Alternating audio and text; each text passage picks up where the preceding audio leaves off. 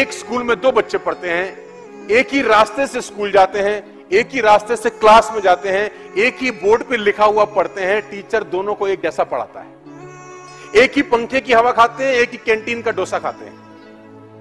कुछ दिनों के बाद एक लड़का आईएएस बन जाता है और एक लड़का चपड़ासी लगता है एक स्कूल से निकले हुए दो बच्चे टीचर पढ़ाने में भेद